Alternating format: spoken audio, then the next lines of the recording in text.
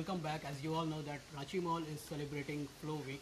Uh, and today is a very important day for Ranchi Mall because our guest today is one of the most esteemed person in the blockchain industry.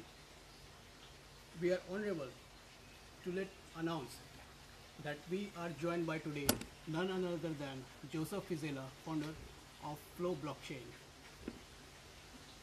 Now, I would start this conversation with a story. Let's say your Windows crashed Please join. and you go to a forum or some support, Microsoft support, and you write, this happened, this something wrong happened with my system, what should I do?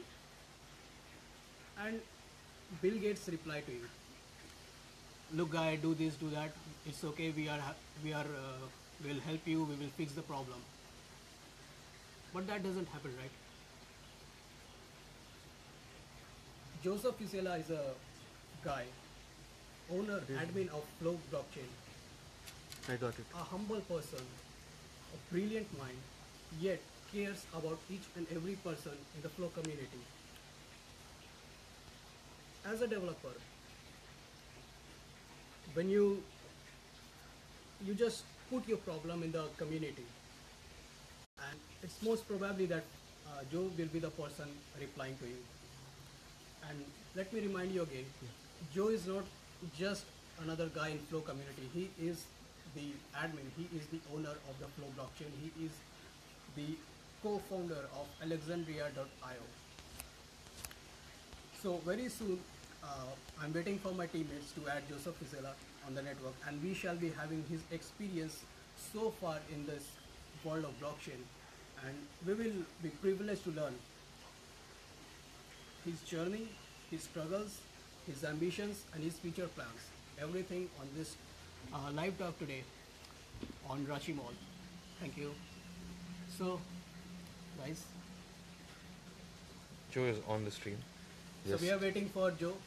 Uh, our team Vivek is trying to add him to the network, and we shall be ready soon.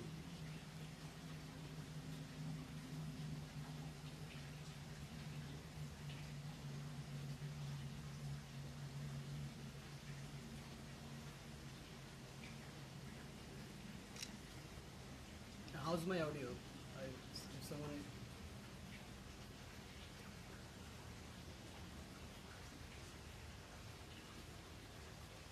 I think we have some technical issue to be fixed before making Joe on the call. We need to figure it out.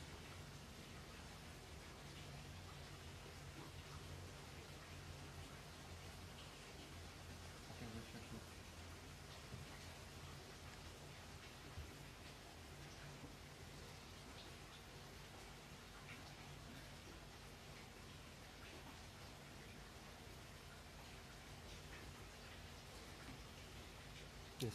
Yes. Approve. Yes. So I guess Joe is connected with us now, and in Yeah, he's getting added. but how will we hear you? Hey, Yes. Joe is here. how's it Hi, going? Joe. Uh, I'm fine. How about you? Great. Thanks for inviting me. It's our privilege, sir. Uh, I'm honored to uh, let you know that Ranchi Mall is celebrating FLO Week uh, this week, and we are promoting our ICO as well as FLO to the local community here, so that the developers and especially uh, to our local community, the developer society, uh, can learn, understand about the FLO, how easy it is to build applications from Flow blockchain, to learn more about you and your uh, humble personality, super supportive. You know, you've always been a support for each and every developer there. And the intention of the Ranchi Mall is to build a community so that they can learn blockchain, they can lo- learn FLO blockchain, and build applications on top of that. And we are doing everything that we can do for it. Great. That's awesome. And I did read a little bit about it on your Facebook page. Um, that's really cool. Uh, I, you know, as you know, I've been helping people learn blockchain technology for about five years. Uh, and before that, uh, I actually got started in tech at a computer camp as a child. So in, in the summers, I would go and, and learn computer programming. And even there, uh, I became a teacher and I was able to teach people how to use C++, how to use Photoshop, and how to basically use the computer to, you know, change the things that were happening on the screen in every way possible. So that's something that I started doing, you know, as a as a kid. Um, and now, you know, now that I have a professional career in blockchain and Bitcoin technology, uh, I've continued to do that, and I've continued to help people learn. And I, I think that that's something that I've been passionate about my whole life, and I'm I'm glad to help people do that uh, still.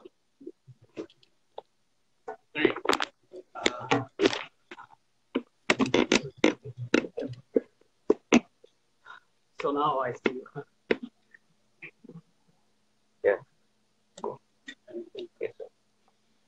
So, Joe, uh, I'm joined by from the tech side. Uh, will I'm joined by Vivek. Hey Joe. What's Hey up? Vivek, how's it going? Good to see I'm you. good. I'm good. I'm good. Yep. Finally. we have been Yeah. talking on Telegram, but then finally we are able to see each other. Yeah, yeah. And then we also have uh, Raja. our uh, From the business side of the Ranchi Mall, uh, we are joined by Raja. Raja, can you come? come Hi, Raj. Hey, Raja. Nice to meet you. How's it I going? think we can do So, focus it's all good. understanding. It's all good. Great. good at understanding. So you know, you know, uh, the best, best, best thing first. You know, as we speak, uh, even the as latest as uh, you know last night, at least fifty people, you know, must be actually learning about FLO, uh, learning about you know how to utilize all the developers, all all programmers, budding programmers who want That's to incredible. Make their Oh, by the way, Raja is the head for uh, all the interns who are working on FLO. Like he's the one who manages them. Oh, very cool. Very cool. we have uh, uh, we have uh, like uh, you know so some few hundreds actually at least uh, must have you know whoever touch is touch base with us will always put them on first on learn FLO install FLO That's the first step. Yeah, number one. yeah Very cool. it's, it's always like that So, Joe, uh, this interview is more, uh, more or less for the developers of the our, uh, you know, our section of our influence, and Mhm. uh, intention is to tell them that you know, first is what is blockchain, and then there is a FLO blockchain that is that makes it super easy, right, to build applications on top of it, to train Yeah. them, and so I would like to, uh, for them, for our uh, interns, I would like you to share your your experience, your first day that I want to become a blockchain developer from the first day, and what were your struggles? How did you start it? What was your vision, and everything? Uh, you could share with us for this. Sure. So I learned about Bitcoin in 2009 when it first came out. Uh, one of my friends from college printed out the white paper, the Satoshi paper, that the nine-page description of Bitcoin, uh, and we both read through it. But being, you know, basically a first-year comp sci student in college, I didn't really understand what it meant or what was going on. So I tried and I downloaded the program on my laptop and I started mining. Um, I didn't know what was going on. My computer got really hot. You know, it started, you know, the fans started going really fast. I wasn't really sure what was happening. Um, so I just turned it off and forgot about it. And I don't know like where the hard drive is. I don't know if I mined any bitcoins or like if I have any at all. Um, if I, you know, if I even had any like blocks that I found, but uh, because I didn't know what was going on, it was very confusing. And you know, that's fundamentally this. This is a new paradigm. It's like a new thing. It's a new technology. It's going to be hard to understand for people that first get into it, especially when it first comes out. So I forgot about it, and then three years later, in 2012, uh, one of my friends mentioned it, and he said, "Joey, like, I heard about Bitcoin on the news. Didn't you do this if, like for a little while in college?" And I said, "Oh yeah, but you know, it didn't really work out. Uh, I, I don't really know a lot about it." And he said, "You got to check it out. Like, it's become really big." And I looked at an article and I saw that people were still mining, and I said, "Oh my god, like." I need to look into this. And then I learned that there were new coins, there was Litecoin, you know, people were doing different things with the blockchain technology, changing the blockchain, changing the protocol, changing the code. And I just I got sucked in, man. Like I I was at that time I had my first job out of college and I was making web pages for a company in the financial district of New York City. And it was like really easy job, like super laid back. Everyone was really cool and it was a fun place to work. But once I learned again that Bitcoin like had been continuing to grow for that those 3 years, uh, I really got interested in in, you know, that aspect of the technology again and I totally quit my job to like do my own thing. and what that ended up being was mining. So uh, it happens to be that my my father had a house that had solar panels on it, and I was able to mine with uh, like solar electricity, basically. So we set That's up like cool. two or three mining rigs, yeah, like in the basement, you know. And uh, I was essentially generating Litecoins with solar energy. It was very cool. Uh, so it was like totally eco-friendly and everything. Um, and what I was doing was speculative mining. So I would look on the forum and I would learn from people on the forum and see which new technologies were coming out and which ones I believed in, and then I would mine them and see what was happening. But also, I would go on and see if they needed any tech help. So if they needed a website or whatever, they would pay me like 500 whatever coin. You know, and most of those coins nowadays don't even exist anymore. But um, so I was like learning the ecosystem. I was really learning like what was going on in the Bitcoin sphere. Uh, and then I saw one coin, and it was called FLO. And I said, "Hmm, this is really interesting." So I checked it out, and it was created by, uh, you know, the forum name of the guy is Sky Angel. Uh, no one really knows who he is. He's kind of like Satoshi, like he's very anonymous. Uh, but I saw that he created this coin with the extra data field to build apps. And now it's like you know everyone's building apps on Ethereum and whatever. Uh, you know they're they're they're branching off in many different directions. Uh, but in 2013, which is you know by that time it was 2013, just about June, uh, that wasn't really something anyone was doing. So I was like, this is what I want to do. You know, I want to build like extra apps on top of the blockchain.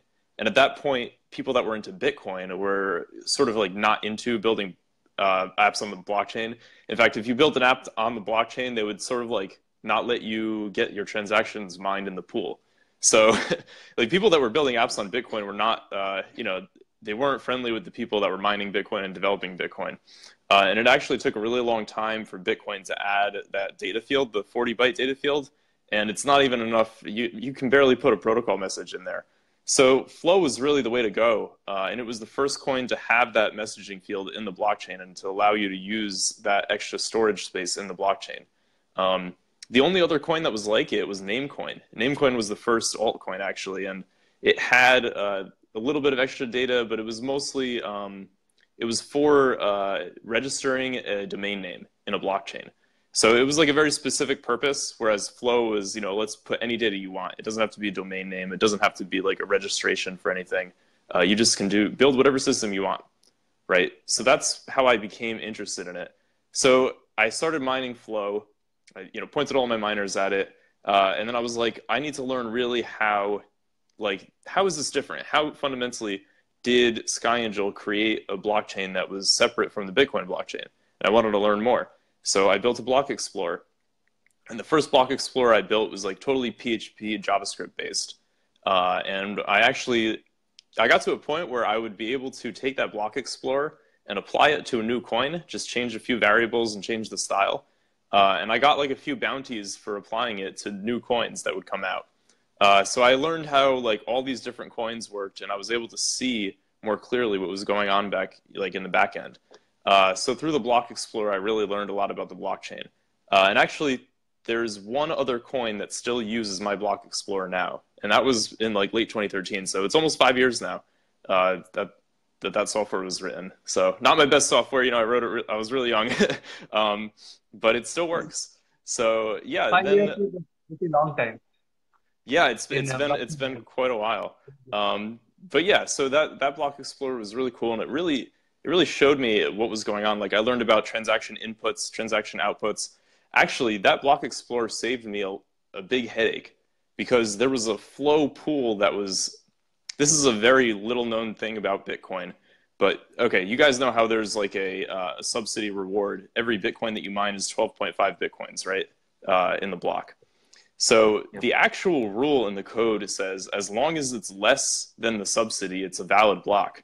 So if a miner wants to pay himself 10 coins, he can do that. And the other 2.5 coins just never exist because the actual code says you as long as you don't exceed 12 and a half or whatever it is at the time, it's a valid block. So like a miner can mine himself a zero coin block. He would never do that, but it is technically valid. What happened on FLO is one of the guys that set up a mining pool. Uh, every once in a while, like every hundred blocks or so, uh, he would mine one coin instead of a hundred coins, and I was something like fifty percent of the hash rate on that pool, right? So like I would get fifty coins, fifty coins, and then sometimes I would get like 0.4 or 0.49, and I was like, I don't know what's going on here, and I, for a while I just was like, oh, it's dust transaction. I didn't really know what that meant, right? So I was just like, it's a dust transaction, cool. What ended up happening was that that miner had a mistake in his code, and I saw on the block explorer like it said very clearly Coinbase reward one FLO, and I'm like, oh my god, how did this happen? It's supposed to be 100, and then I looked in the code and it said, you know, as long as it's you know less than 100, it, it's fine. And I was like, oh my god, so he's been mistakenly paying out people from his pool. And like we brought it up to him and he just like kind of disappeared. So i think he was embarrassed. Like no, he didn't get the coins. No one got the coins. They're, they're effectively burned coins right?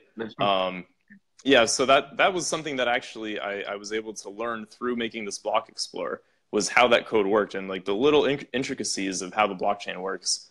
Uh, just you know there are a lot of implications there. Uh, so you, you have to be sure to implement things the correct way. So yeah, I learned about inputs to transactions, outputs to, to transactions, uh, how everything is encoded in hex, and you know how it's sent around the network and things like that. Um, and yeah, that's that was like a really cool experience for me. And I just I started a Bitcoin company with a friend of mine to accept Bitcoin for like shops around New York City. Uh, we did that for a little while. I started another company that was like FLO app based. But at that time, honestly, people didn't want to hear about uh, apps on top of a blockchain. They were like, "Oh, it's Bitcoin or nothing. Like, get out of here." So every time I talked about it, I would get some like weird looks. Obviously, nowadays everyone's building a blockchain app, but uh, you know, so it was like a little bit too early. Uh, but it's cool because I had that experience and we've done stuff like this.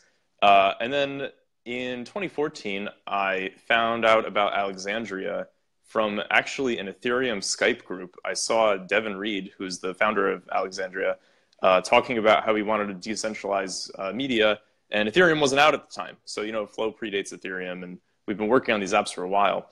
So, Alexandria became really interesting to me, and I, I uh, met Devon Read, and we went to San Diego, and we started building what is now Alexandria.io. And that's an app where you can pretty much using the data field in Florincoin, put uh, a hash of a video file or any media file, and it'll find it in IPFS and download it. So you have essentially a peer-to-peer, fully decentralized network for sharing files, uh, and that's what Alexandria is. So yeah, that's basically my intro to how I got started in blockchain and, and how I learned about it and what I've been doing since then. Um, and it's it's been really fun. Uh, it's been really really great. Amazing. Alexandria is a really interesting project actually. Like right. I saw Imogen Heap's uh, files on the library. Like, did she release her songs over there? Oh yeah, uh, she came into Slack and talked with us and and uh, let us use her files, and she was really interested. She was one of the early adopters of blockchain for for media. Um, so yeah, she let us use it and give it away for free, and people are able to download it on our on our uh, system. It's it's really cool. So we, what we want to do is, uh, yeah, I mean, it, it was really great because I love some of her work uh, and I, have been a fan for a really long time. So that was like really awesome for me personally to to like kind of meet her and talk with her. I didn't meet her in person, but like she came in Slack and you know talked to us and like was like very interested in it way before anyone was interested. That must have been like 2016 or something. So yeah, yeah that was yeah that was yeah, really really fun. Yeah.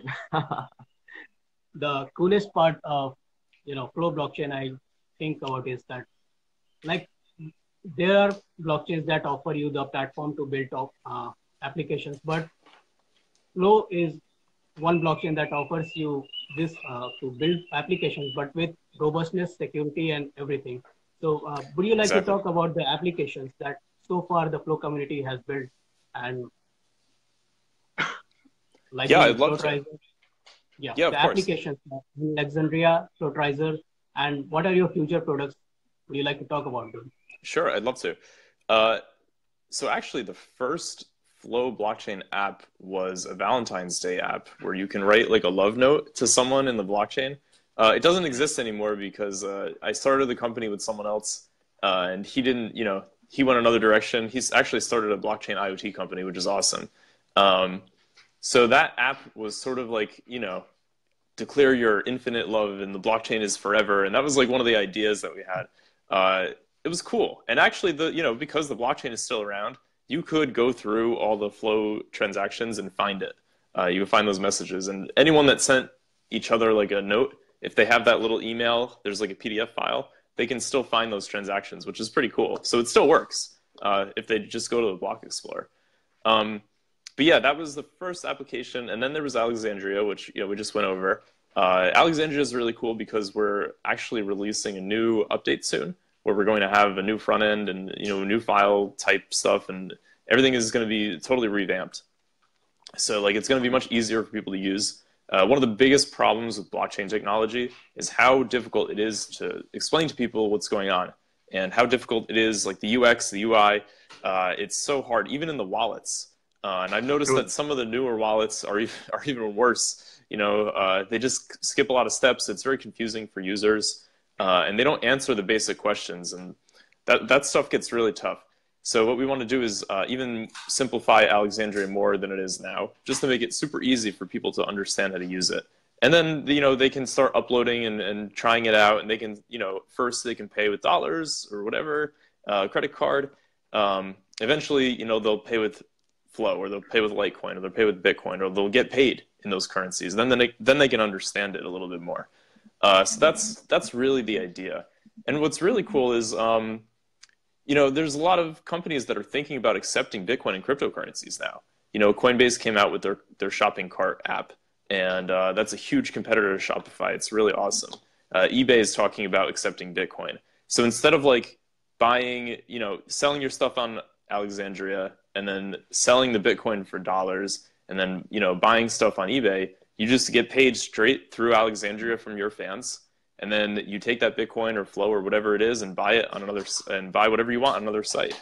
You know, I think that in the future we're going to see a lot of people implementing crypto shopping carts. So we want to be part of that ecosystem from the from the get go, and uh, we're we're well, we're well positioned to do that.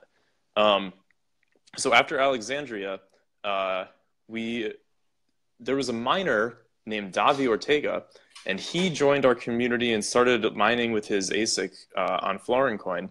And he accumulated some FLO and started learning about it and was like, he probably, I don't actually know how he, he learned about it. Maybe through one of the coin calculation sites that, you know, tells you which one to mine now. Um, but eventually he started learning about it more and he is self-proclaimed not a coder, right? He's a scientist and he knows a little bit of Python enough to get an app done. Uh, and he was able to make two FLO apps really quickly. The first one was called Flotorizer, and Flotorizer is sort of a notary app, and it lets you put in a document, and it takes the SHA-512 hash, puts that hash in the blockchain, gives you a PDF, and now you have a proof that that data existed at that time.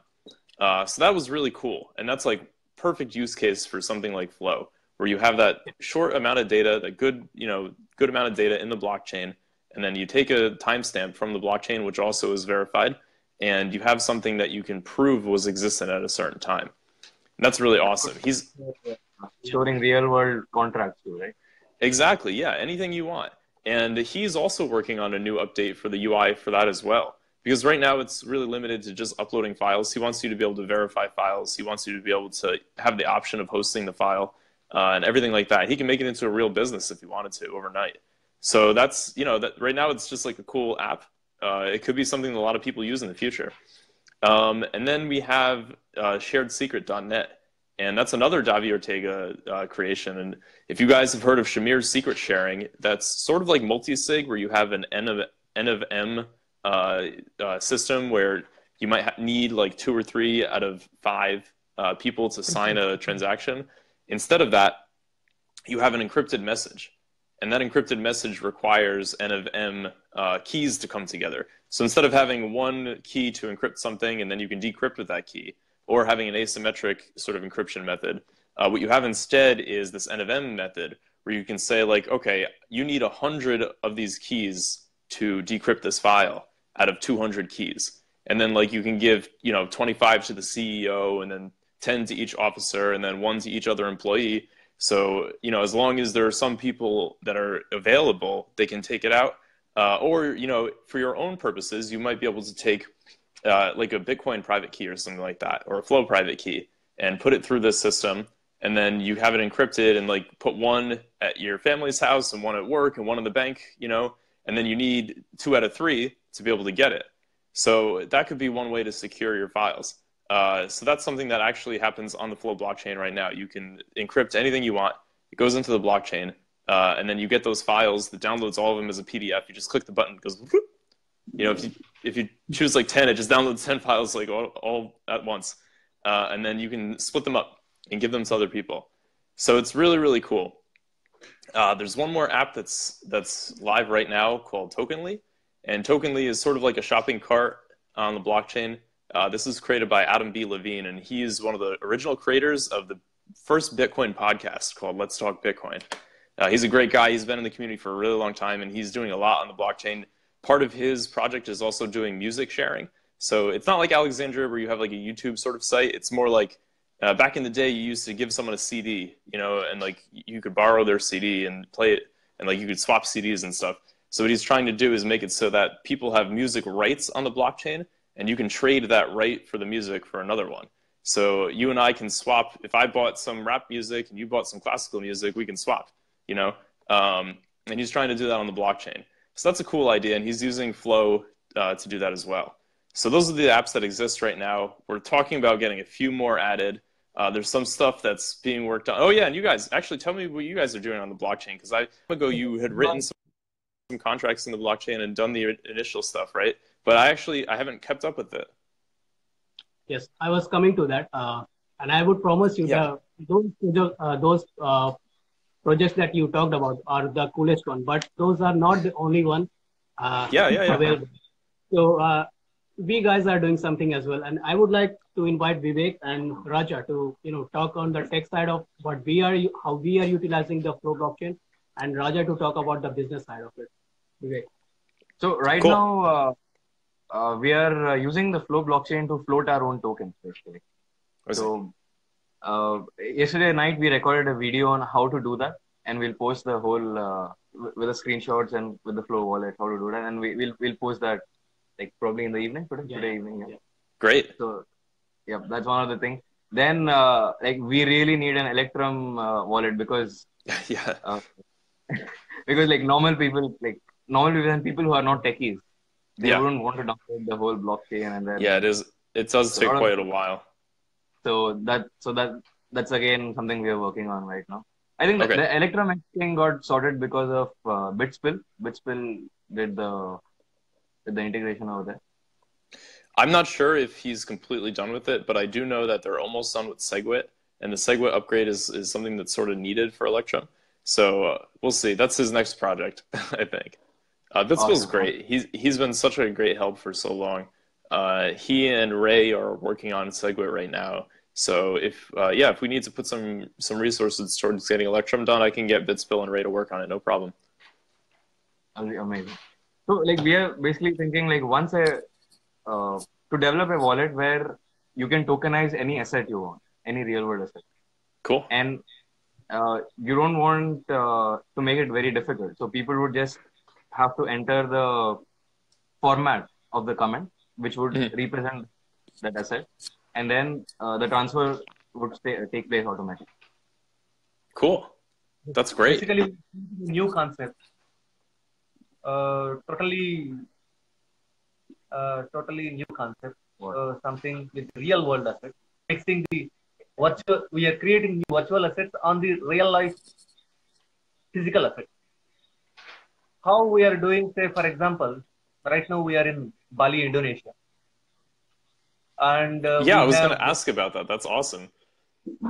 Oh You yeah, guys are on So- vacation or by the way, we we want to invite you. You know, so this there is a here Flow Villa, and uh, you know it's a uh, this uh, resort is renamed as a blockchain uh, Ranchi Mall blockchain. Uh, you know, resort.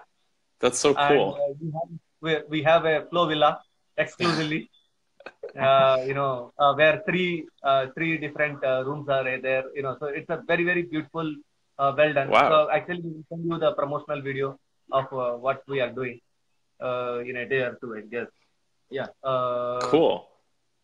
So you see, we have a lot of very interesting things, uh, you know, to share to the world. That is, uh, we are looking at how you know consumption. See, in any consumption, say for example, if someone is uh, spending money and uh, you know he is uh, getting access to a service, like say for example a research, Mhm. so he is actually gaining the room night. Now there is a here is you know, actually losing side. The spender always in the losing side, and the uh, resort owner is always on the gaining side. Mm. And if we can convert this model into a, a totally uh, you know, new idea, that is uh, where you know spending is also an investment rather than a spending real spending. Mm. Say, for example, if he is if if the spending guy if he is looking like you know he is investing into the uh, uh, investing into the uh, this uh, room night or whatever you know so he stay in the Yeah. resort. Then what happens? Say for example, if there is a gain in the investment, Hmm. then he would actually by spending he is actually gaining. So I see. It is uh, you know so for the resort owner it is like gaining because he is getting a customer. And for the Ranchi Mall you know enabling it's uh, the entire uh, platform of trading activity and like that you know look, converting into an investable asset. So as a blockchain contract. So uh, this is this is uh, this is uh, some new idea. Say for example now this can be done in various consumptions so any consumption in the world. Say for example whether it is uh, you are buying you know anything that you buy today can you can you look at it like a investment? If the moment you convert that into then you have millions and billions of possibilities. How to create uh, you know uh, uh, how to create investable products new products you know continuously constantly. Because world you know world looks at actually spending is losing game. Can we make it actually a gaining game? Mm. so this is the this is the thing that the product name we call is blockchain contract. So where you know so every uh, uh, all these uh, you know the participants actually will will will start actually you know buying the uh, Ranchi Mall tokens which are on the FLO blockchain, and they will they will start trading. You know so the you know so so what we understand is that you know Bitcoin you know fundamentally so there is a uh, you know higher demand and there is a uh, lower supply so similarly so we also have uh, you know we are trying to create a set of uh, you know ecosystem where all the people come together and uh, uh, you know so on the blockchain being together actually is actually even spending can become a you know gaining thing for the entire community as a whole so whoever is participant and this is the concept that we are trying to do I love it. In fact, I was. Um, sorry. Go ahead. Go ahead. it's a very very early uh, it's a, still in the experimental mode we are trying in multiple ways like uh, we are trying through the this art that you see here in the background uh, Yeah, it's very so, cool. so like uh, you know so we try to Yeah. so like this you know so paintings uh, we want to create a art, art blockchain contract what does it mean is basically see uh, uh, eh, people can actually buy uh, but today say for example you know art buyers are very few Hmm. because not many actually understand it not many actually uh, you know uh, uh, understand the importance or the or the or the get the creativity in it. But rather the moment you convert as an investment then everyone will try to understand an art.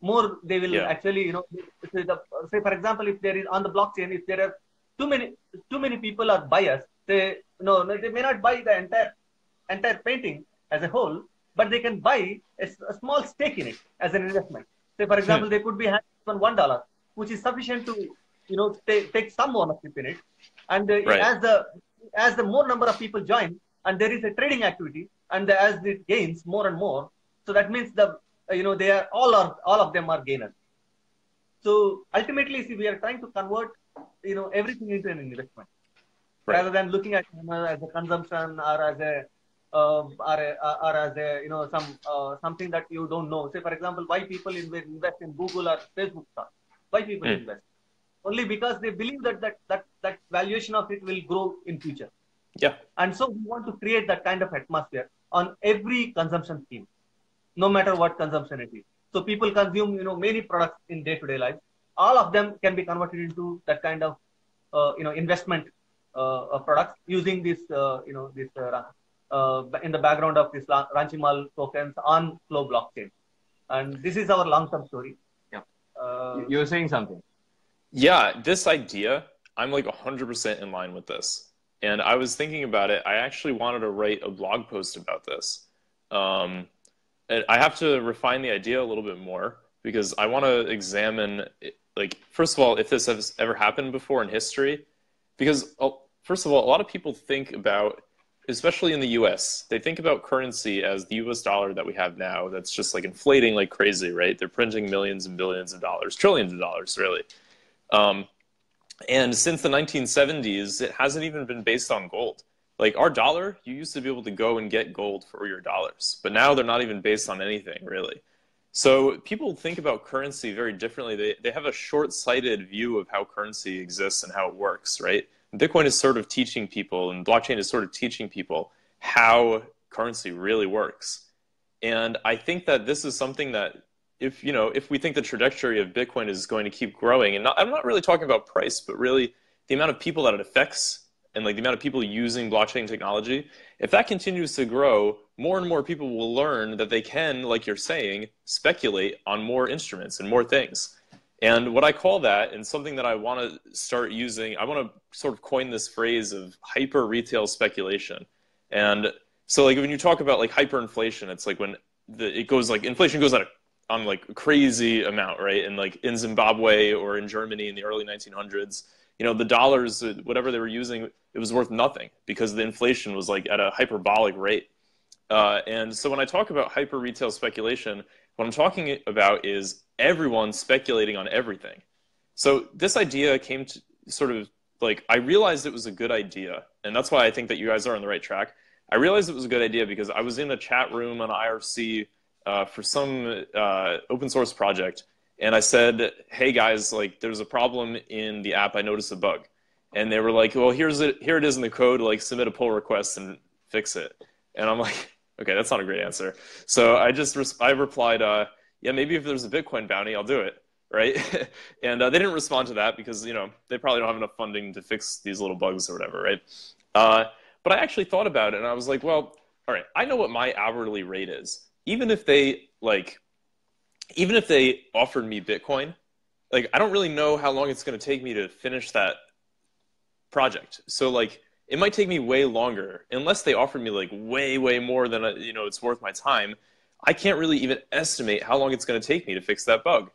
But if they had a token and I could directly contribute to working on the project and making it better, and they offered me the tokens, I don't care if they're worth nothing right now because my you know promise for the future my hope for the future is that it becomes better you know and i'm sort of invested in it in that way so i was thinking to myself wow i really think that if we just made everything or as much as possible into these instruments that could be speculated on and give people the opportunity to invest in a project by putting their work and putting their time into it it would be much more efficient and in fact i don't even think like okay you might lose some you might win some right but in the end it's probably going to average out and if you do a good job, you might actually gain even more. So it's more in line with like your incentive and it's more in line with how much work you put into things. So I am 100% behind this idea. I think it's a great idea. And at, at the very least, it should be tried because it's a new economic model and it's, it's something that could be like revolutionary in the future. And I think other people are thinking about this too. And I, I really want to get that going on FLO as soon as possible. Yeah, true. Like we, we met a guy uh, who, who was one of the developers of etherscan.io. Yeah, yeah. Cool. And he, he also, yeah, so he, he, he, he was just going outside the road and he saw Satoshi Nakamoto drive. Like, okay, like, what is this place? Wow. so he, so he I walked took in. that drive. Yeah. That's so cool. he is with us and uh, you know he will also you know future collaborator with us so uh, you know with the FLO and as well as uh, you know Ranchi Mall I was So- saying uh, he, he, he has a project with some guy in Sri Lanka and they're, try, they're tokenizing stones, like high quality stones, like diamonds or whatever. And then they're Yeah, trading yeah, them. yeah. So it's, Wow. so he is talking to me. Yeah, I think we're going to see it happening more and more, and I think it's a great idea. I, I really think it's awesome. I think that giving people the you know the ability to speculate and invest in things and, and be part of something that it makes them try harder and it makes them do more to help affect their own growth and affect the growth of other things. I think that's really awesome. Sure. Thank you. so Cool. uh, we have a great actually see i, I so uh, here you know blockchain resort so all of the uh, this place is uh, amazing actually uh, you know, it's only one, uh, you know, it's an experience, uh, you know, only can uh, can explain the way it is. So only the visitors can actually see the means. For example, that that uh, Edwin when he came here, so he was like almost going crazy about this. Like Wow. he couldn't believe, you know, that something is like this exists. And second, yesterday, you know, someone, you know, someone uh, from uh, uh, one one person who uh, uh, frequently organizes this uh, blockchain meeting, he came down and he couldn't believe, you know, so he was like moving all over and just feeling the sense of, you know, the blockchain, uh, you know, in real. You know, blockchain in general is always virtual. You know, once you Yeah. come here, you know, you feel that it, it's real. It's exists. It's not like you know the uh, the people how they are talking like you know virtual assets you know have no you know real world uh, value and the way you know Bitcoin is uh, actually you know always uh, um, uh, countered with uh, you know uh, such arguments. So here, you know, they see that it's real. You know, so when they come here, you know, they feel that this is the real world. You know, first time, you know, blockchain resort in the world, and um, you know, amazing uh, with amazing, uh, you know, uh, uh, total, uh, you know, property or the a beautiful place. So you know, once it's it's always starts with you know, so one pro- one experimental product that we are doing right now with the resort, and uh, you know, so slowly and slowly we are going. Say, for example, even with the interns, say, for example, instead of looking at one intern we are looking at as a you know as a combine of uh, set of interns.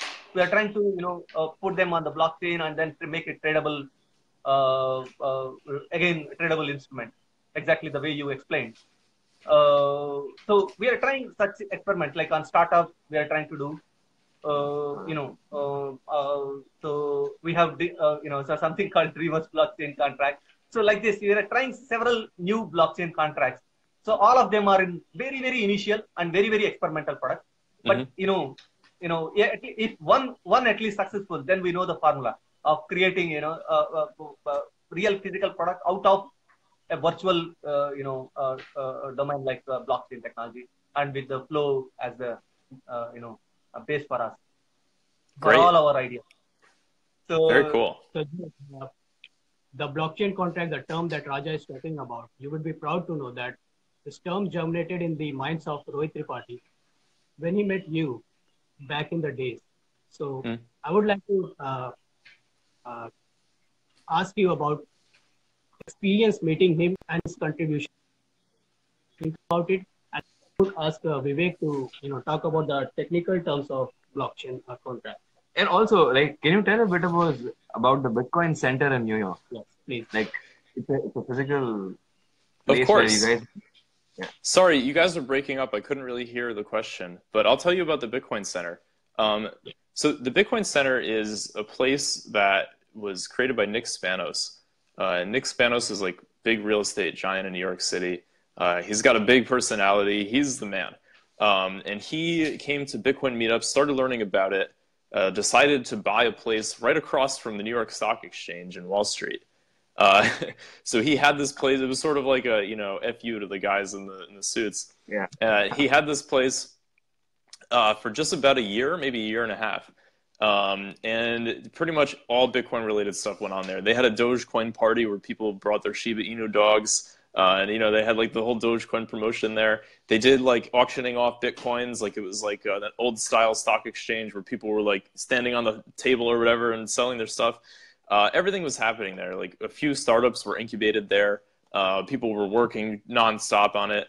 Um, and I spent, you know, a few days. I slept. I slept on the floor, you know, working on projects and just like crashing. It, it was great. They used to have parties, Bitcoin stuff, and you know, people would walk in from outside that were just walking around uh, New York City, and they would learn about it. And I thought it was a great idea, and it was sort of like a home base. And you know, like you were saying, Raja, it became real for us. It became like, okay, at first it was just like I was sitting on my computer working on the blockchain software, and now I can go downtown and like there are other people doing this, and it's here, and there are people working on their business, people buying and selling. It's very cool. Um, yeah, there's there are a few videos of me. Like I got interviewed by uh, Naomi Brockwell. Uh, I was interviewed by the guy that made the um, what was it called, Banking on Bitcoin movie, which is on Netflix. Uh, and that movie is actually like half. Nick Spanos is like the main character of that movie. You know, they they went through the timeline of like what happened with the Bitcoin Center in New York for you know pretty much like half the movie. It's all about that, and they did a really great job, awesome job of depicting what was going on and how like the struggle like with the re- regulation and everything. And that was also during the time that it was like a horrible bear market. I mean, from 2014 to 2015, and pretty much up until the end of 2015, we were in like a decline of Bitcoin. It was just going from like $600 all the way down to about $300, $200 before it went back up again in 2016.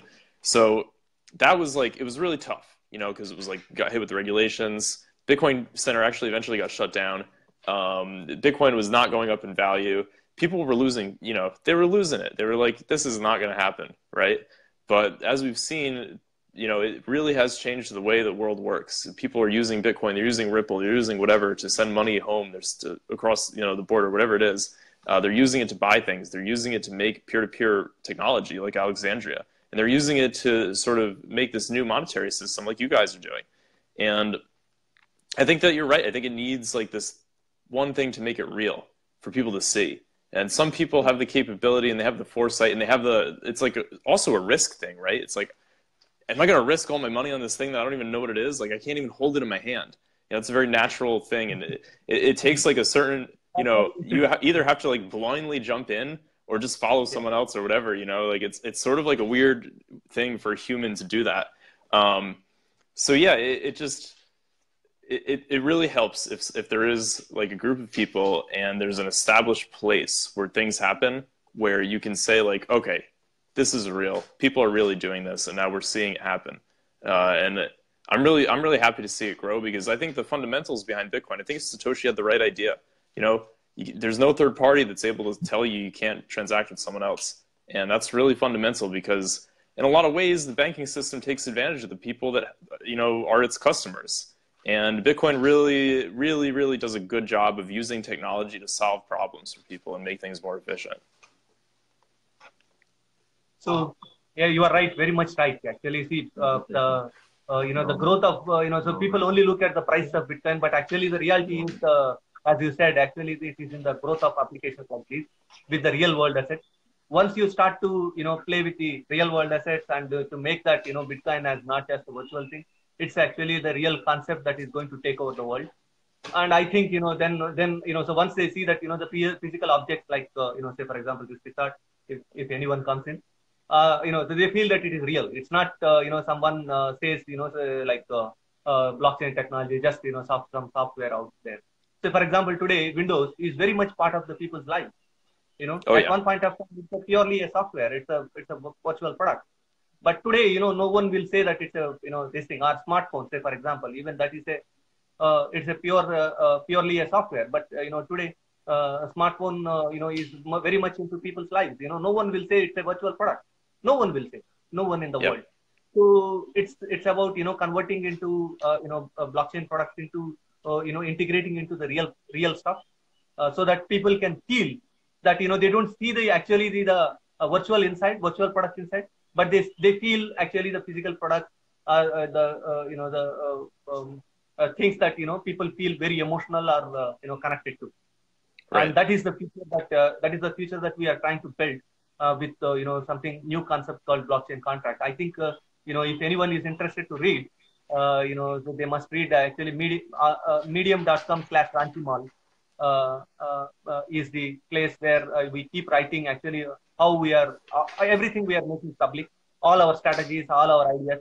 There is nothing that we are keeping secret. As the experiment goes on, actually we are explaining each day how the progress of each experiment uh, we are going to soon actually launch one. I think uh, you know Abhishek is working on this uh, uh, uh, blockchain contract page where you know so all of the updates and how the trading activity will go on. Everything will be available in just a few days. It's a matter of days. And Great. Vivek, would you like to talk about what is blockchain contract and how we are using FLO blockchain? Uh, you know, what is this concept about and how we are using it? So, how we are using the common feature of the FLO. FLO Okay, blockchain. So, uh, uh, we just the common feature will tie tie the asset which is being traded Hmm. to uh, to the blockchain. Basically, so we blockchain contract for the real estate thing over here. We have a blockchain contract called uh, Ranchi Mall Real Estate Blockchain. So people when people when they people can pay for uh, pay for the pay for staying here in crypto Cool. and uh, so their crypto gets converted to Ranchi Mall tokens, and that is what they used to pay. And a part of it goes as an investment. Oh, really? Part of it goes, goes, goes, as, as an investment into the tokens or, or Ranchi Mall. So it becomes uh, basically an investment product. So as you were saying, he, I see. then the more somebody works on the resort, the value Hmm. of that uh, value of that investment grows. So now the more investors means basically, you know, it, it is in their interest to make this famous, uh, this place famous. Yeah. Uh, you know, it yeah, they can benefits share it with their friends. You know, they can promote promote it on Facebook, whatever. Yeah. Sure.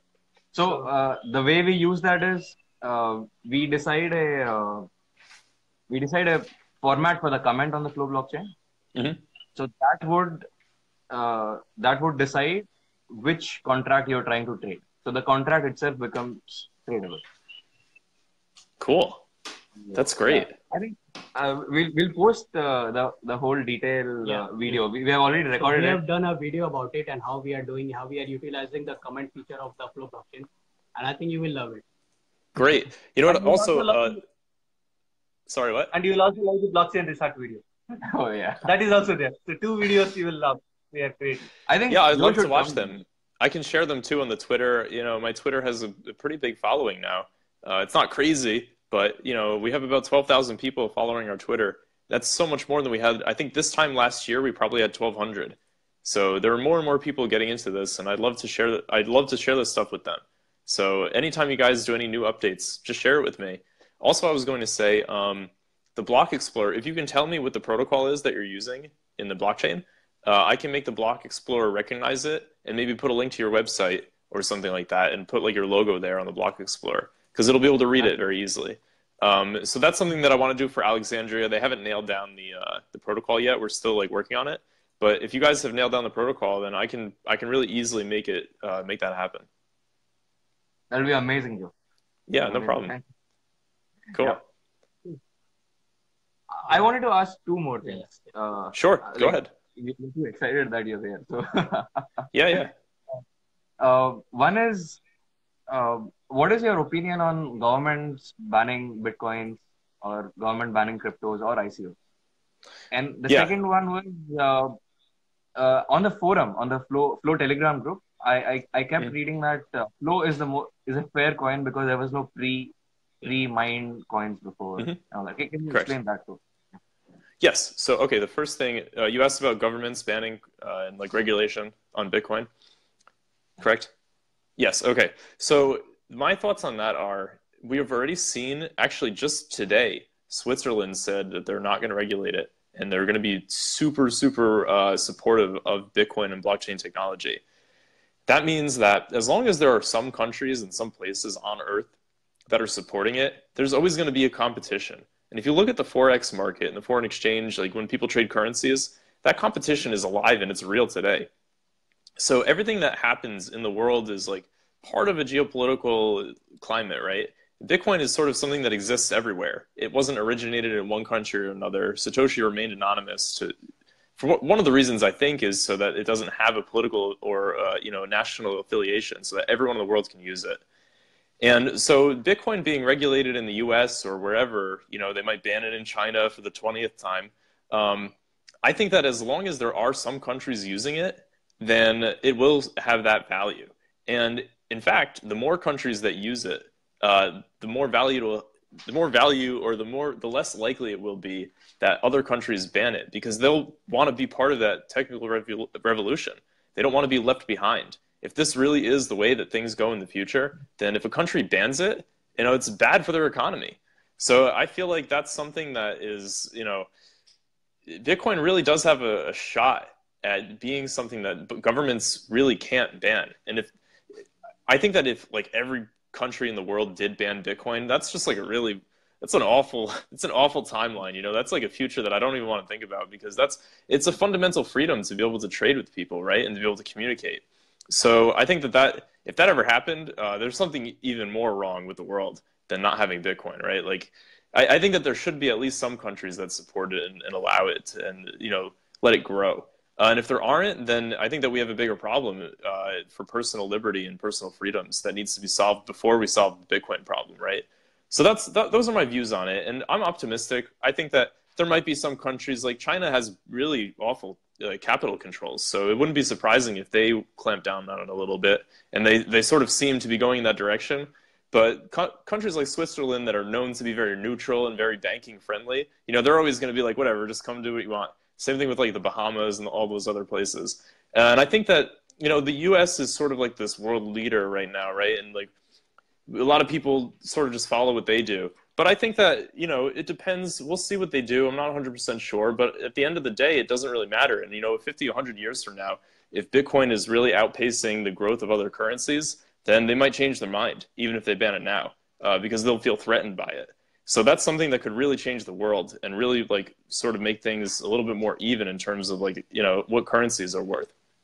So I think that we'll see the geopolitical system evolve. We'll see you know countries change the way that they think about currency, and their citizens will become aware of you know oh maybe the inflation is too high or maybe the bankers are taking advantage of things, and that'll be because of Bitcoin, and they'll react by banning it. But that might even make the problem worse right? It's sort of like the Streisand effect, if you've heard of that. Like when people ban things on the internet, uh, then everyone hears that it got banned and they're like, what's that? And then they learn about it and they're like, wait a minute, we actually want that, you know? So it's, it's hard to stop an idea. So let's say the idea is really good. Let's say the idea of Bitcoin and blockchain does take off. 20 years from now, it becomes like the thing to use for trade. Uh, it's going to be really hard for countries to ban that unless they have like a real iron grip. And that's, like I said, it's a bigger problem. So because of that, because of that fundamental, the way logically the way that that works out, I think that it's it's good. I think it's op- I'm optimistic because of that reason. Um, what was the second question? I forgot. Um, on the on the Telegram group, like uh, you had mentioned, FLO is the fair fair coin. Like you, you oh guys yeah, pre pre mine and then correct. yeah, like Okay, so that's uh, nowadays when people do an ICO, uh, they sort of take all the coins and they create them out of nowhere. And this is something that made people uncomfortable. Back in the day, you know, back in 2012, 2013, if you created a coin and gave yourself all the coins, people didn't trust you. They said, like, this is a scam, it's not going to work. So there were two different concepts. One was called a pre mine. Excuse me.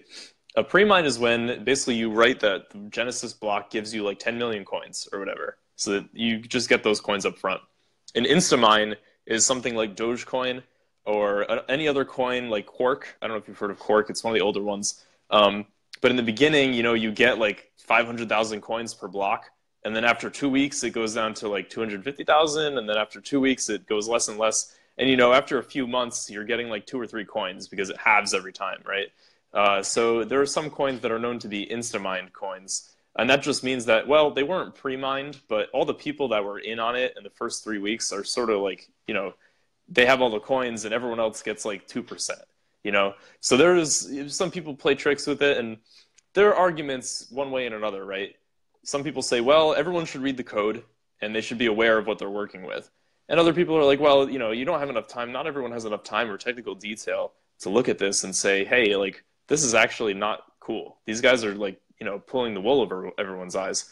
Um, and then also there's the fact that sometimes you know it is it does make sense to do an ICO and sort of keep 90% of the coins. You know, let people trade a little bit of them, but incentivize people to to use it. And now actually with smart contracts and and multi-sig and time lock, which we didn't have in 2012, we didn't have any like time lock was like an idea back then. Now we have it. Uh, you can tell you can actually create a pre-mine, quote unquote, that has a 10 year lockup. So you can't spend those coins for 10 years. And you know, that might be acceptable to the community.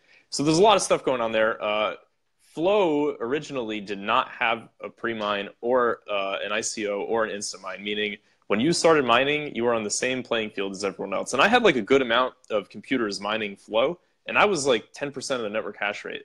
So there were a lot of people securing the network that were evenly getting, you know, rewarded for mining. And like I said, like we had two or three pools in the beginning that one had that bug or whatever, um, but we had two or three pools, so there were a lot of people mining on it.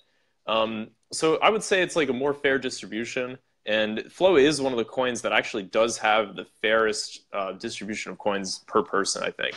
Um, there's one concern with FLO, which is that the original Cryptsy exchange, they went down and like they had everyone's deposits.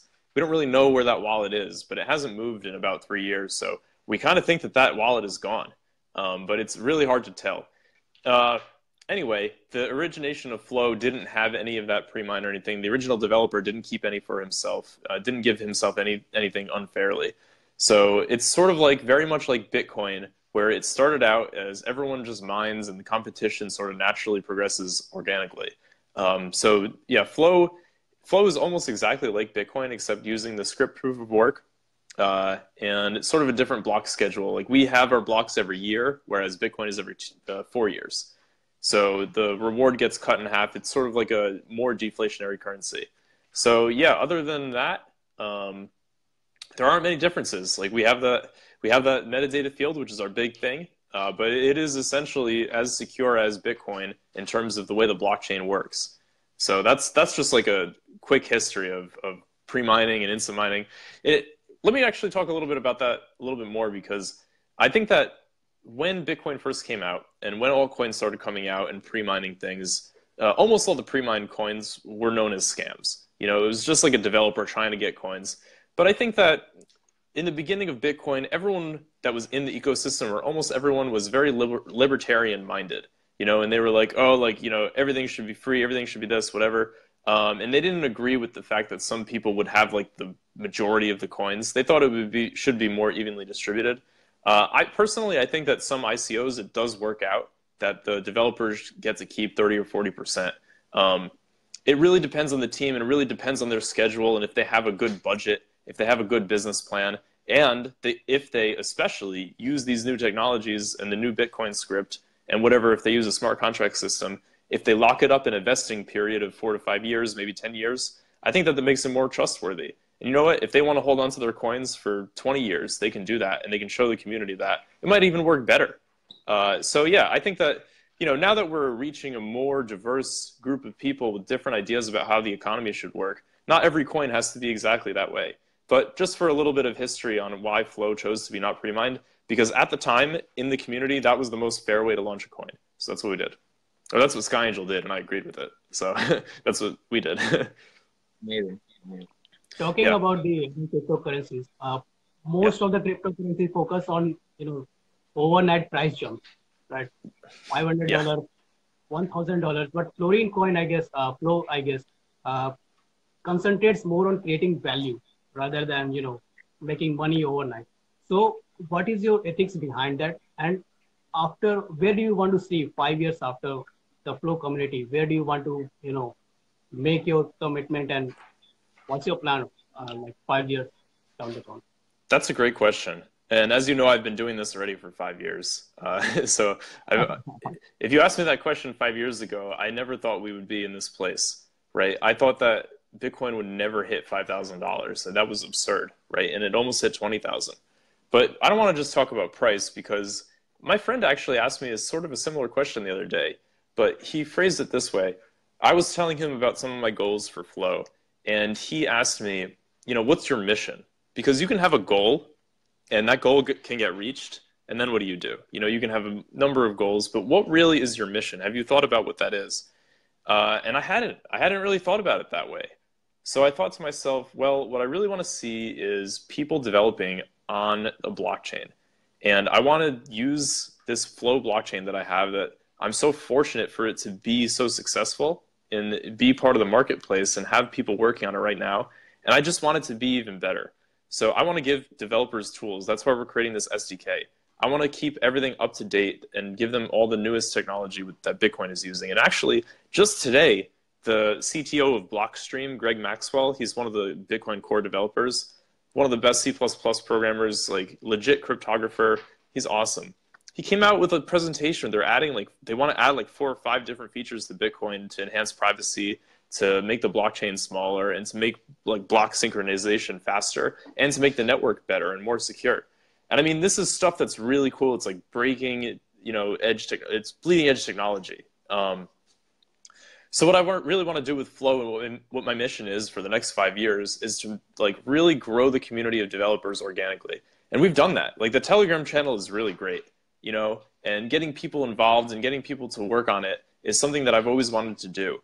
Um, just back in my own life, like when I was probably 13 or 14 years old, I was part of a developer community that made an online game. You know, this was like in the late 90s, and it was just like me and a bunch of friends. Like the, the game had its own coding language that you could develop in, and it like let you upload uh, different, uh, you know, like animations and and file and, and like different graphics, and you can make your own world. So like that community is very much like what I'm modeling this on.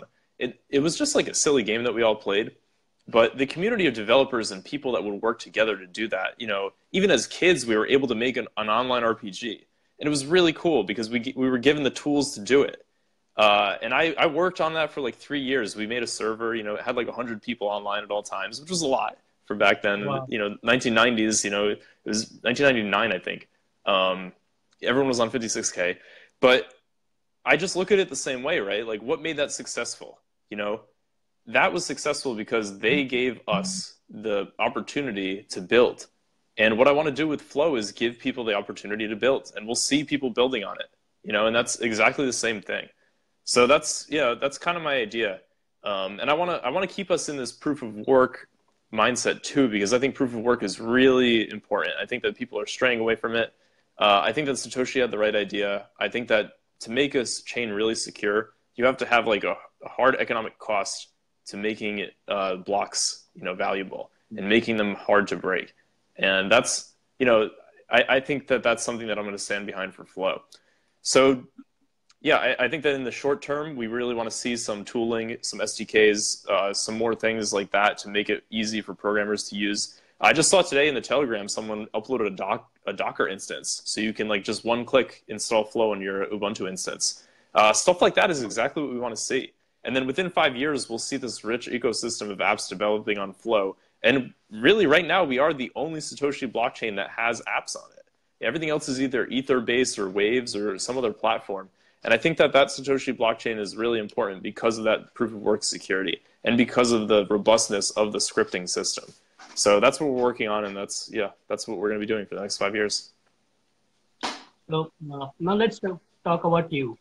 I mean, Sure. you are the uh, owner, founder of the FLO blockchain, co-founder of Alexandria.io, one of the most influential person in the blockchain industry. Yet, you find time as a developer. If I post an issue in, a, you know, maybe in Telegram, and you nine out of ten times you would be the first person to respond. How do you find that time? How do you manage to you know love? I guess you love every single person of the community. Well, Yeah, like I said, I've been I've been growing this really on my own. You know, I have a few people that are working with me to market now, but for the last five years, I've really just talked about it to people, uh, and I've told them to join Telegram, and they tell their friends. Uh, so everyone that is in the community came there through me somehow, uh, one way or another. So I feel responsible, and I feel a connection to those people because they're probably one or two hops away from someone that I know in person or, or, or really, you know, know really well. So I always value those people, and they've taken their time. You know, it, it, it is a practical thing in the end. They've taken their time to be interested in my project. So why would I not help them out? Uh, I think that, that that's really important. Um, and if it ever comes to the point where FLO is like super successful and I literally don't have time, uh, I'll, I'll I'll find the best people to continue doing the same thing and make sure that they do a good job because that's something that's really important to me. Is that everyone that comes into the channel learns how to use FLO, uh, and you know even even when I'm at work or I'm doing other stuff, and you know this is like a project that I've been working on for so long. I'm really interested in, in, in helping people out and helping people people learn about it. So I'm never gonna like do another job where like I can't respond to people on Telegram. You know what I mean? Like that would just not be an option for me. so yeah, that's that's something that I, I'm really I'm really committed to. Uh, I and we really appreciate that because of course, like yeah like uh, I couldn't think of like I, I was initially shocked like oh Joe is replying So, by the way, you see, for the uh, just tell us, like you know, we, you know, we will have you know continue to have stream of people who are raw, who has less experience with blockchain, but Mhm. who wants to learn blockchain. Mm. Uh, uh, who has like uh, basically first timers in their entire life to uh, you know understand uh, what is this technology or uh, um, are they have zero idea about obviously about the FLO. But uh, you know, we are actually insisting them. You know, so they are all actually potential. Uh, you know, so you know, uh, uh, potential. Uh, you know, great programmers uh, into the blockchain industry. Uh, you know, uh, some of them will perhaps you know create their own products and services. You know, around the FLO or other blockchain, obviously. Mhm. But we are actually you know bringing them into the uh, this community, and uh, so we have actually you see roughly more than you know at least some kind of initiation made from them. At least you know look at what is FLO like this. At least in the numbers, if you just say numbers, 500 people. You know, Wow. 500 is a developer community is a very big community Wow. and all of them are programmers, software programmers, all of them. All of them are C++ programmers That's awesome. So what I'm saying is basically, but the, they need a constant kind of mentoring.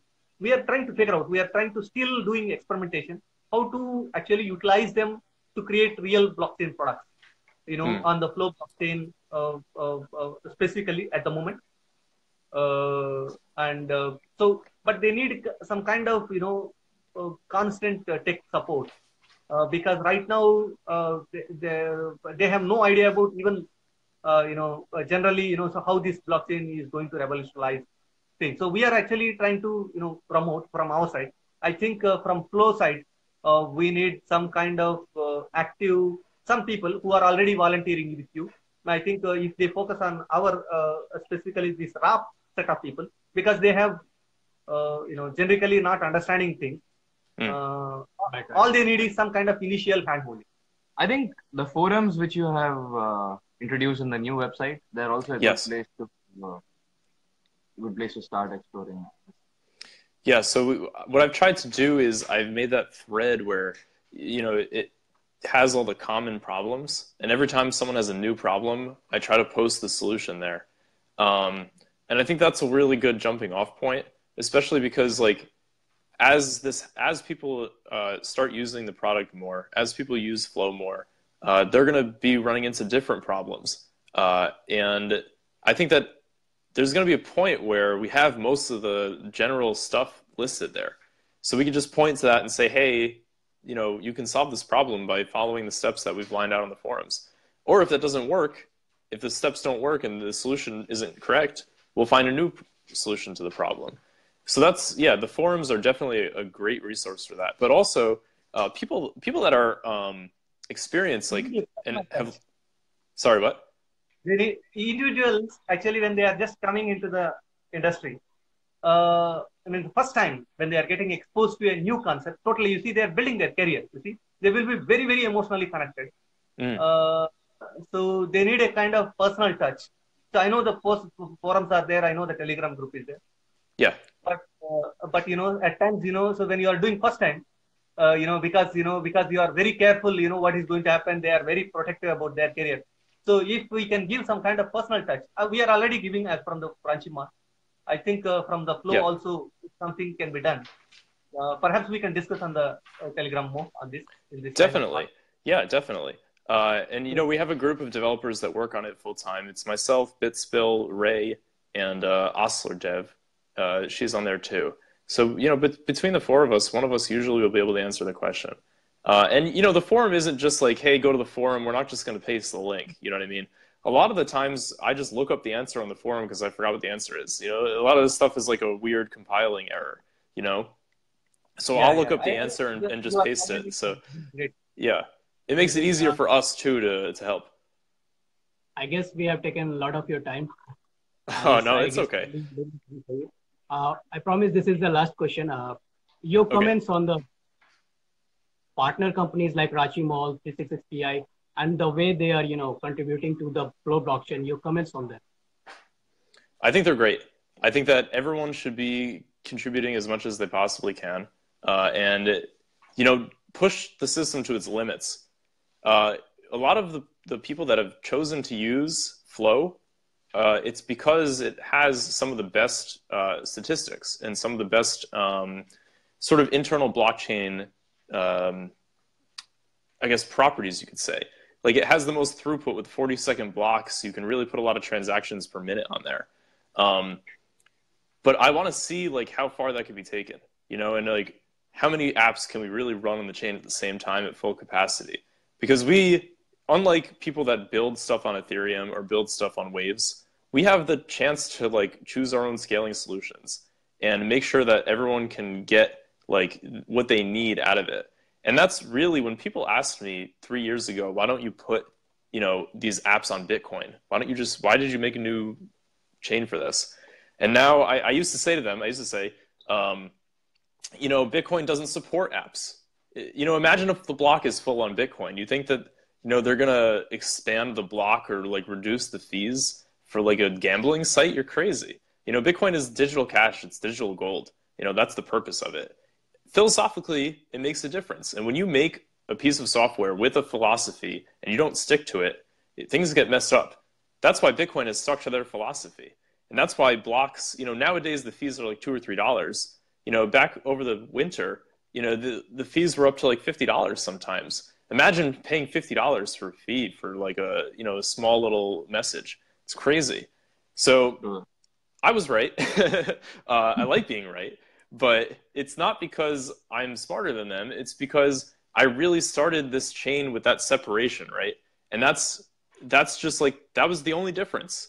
And it's not it doesn't take a genius or it doesn't take a super great programmer to understand that the right tool is for the right job. You know, you can't use the wrong tool for a job that it's just everything's going to be messed up. So really what I want people to do and why I encourage people to use FLO is because we have that control. If if you build an app on Ethereum that Ethereum the Ethereum network doesn't is not compatible with in some way, uh, it's going to be hard for them to sort of fork away and, and change it for you. Um, that's why I think right now, you know, FLO is just something we're, mills, we're, we're meant for building apps, and we're always going to be meant for building apps. So whatever you guys need, uh, bring it up to us, and the community will decide how to best handle that. And that's the philosophy that we have. You know, this coin supports apps. That's what it is. Um, so yeah, I, I love I love all the projects, and I think they're great. And I really want everyone to push the limits of it because then we'll really see how we can work together to solve these problems, and we have that opportunity. It's amazing, Joe. It's incredible. It's incredible. I know that Cool. you are already you know, a great, great supporter to the community. Uh, uh, we uh, have experience in person, each of us, uh, from the Ranchi Mall and 366 And uh, I think, you know, so, you know, FLO, you know, so is a very a slow rise. But I think, you know, once there are more and more applications, you know, FLO will uh, hit the roof. I, you know, I still remember, you know, Rohit, uh, Rohit, you know, used to always say that, you know, uh, FLO FLO you know is something that you know we want to definitely make sure that FLO is also going to rise along with the Ranchi Mall. so we Oh, have that kind of dream on the time. uh, you know so he said to every investor he convinced every investor that we will fund um, uh, you know try to promote FLO in every possible way and that you know it is reflected already in the interns like say anyone who is trying to reach us is first they have to see is first they have to do is go to the FLO download and install uh, you know learn the code uh, these are That's the two queries first queries so And Uh, hold. Go with the we flow. go yeah go with the Go flow. with the flow, yeah. Go I with love that. Go with the flow. Rohit is awesome. and you know you must we, we want you to come here once you know so i don't know how soon you Oh, are going to sure, make yeah. it And I How long do you that- have it? How long is the resort there for? Do you do you own it now? Is this just forever? we have six months at least Six months. Oh wow. Hmm. that's pretty Let long me let me ask my girlfriend. Baby, when do you want to go on vacation? yes, yes. Available? Six. We have six months. Mm, let's go for my birthday. Okay, we're coming for her birthday. Wait, no. we need to do that. Awesome. Awesome, awesome. it will be incredible I, I can promise you that you know you both will have a unforgettable experience here Awesome. there's no doubt about it it's That's a, so it's cool. a, so much uniqueness here Great. Thank you so much. it's a very That's romantic inspiring. place as well Oh, okay. Great. I must add that. Perfect. you know, she would just love it. When you mm-hmm. when she sees the photograph, it only tells only one small part, that greenish part. But in general, this place, every single part is the you know art and uh, very very uh, you know uh, you know I see every day you know couples. Every single day I see only couples. Cool. So I guess That sounds great. Uh, I would like to end this uh, interview with one point. as- I, I have to tell this point that I asked Joe. I just simply asked Joe on Telegram that I want to have an interview with you, and Joe gave me date and Joe gave me a time. So we from the Ranchi Mall, we on behalf of Ranchi Mall, we are honored that you you know you gave us some time, and Of course. we would like to, we would like lo- we would love to you know reconnect time and time and every time. Sure. Yeah, of course. Let me know when Great. you're thinking about doing anything. Uh, and you know, if you need help making a video of how to go through the software or anything like that, if you want me to take a look at some of the stuff you guys are working on, I'd be more than happy to provide feedback. And I'm more than happy to, you know, do an interview or anytime that you want. This is really fun. It'll be amazing. Yep, amazing. Great, great, uh, Joe. Uh, So, you know, uh, uh, wishes for best wishes, you know, for the FLO community uh, from the Ranchi Mall and the. Thank you. Thank you yeah, very much. Great, thank you very much for See you your- soon. See you soon. Thank you guys sometime. too. Go Talk to you with the flow. Yeah, go with the flow. Bye bye. bye, bye, bye.